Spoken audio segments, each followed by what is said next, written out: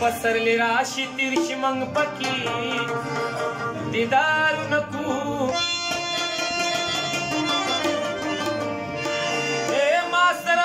शीची ओ बलता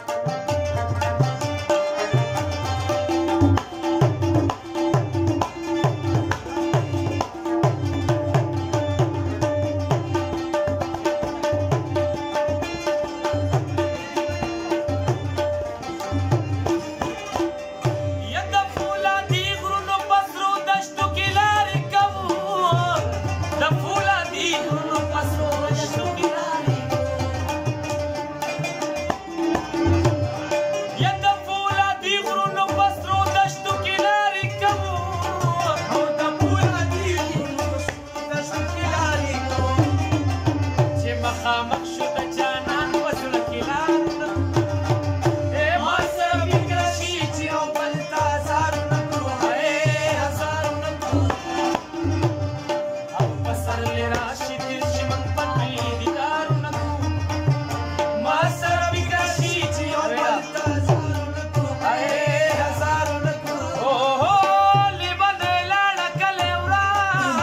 Oh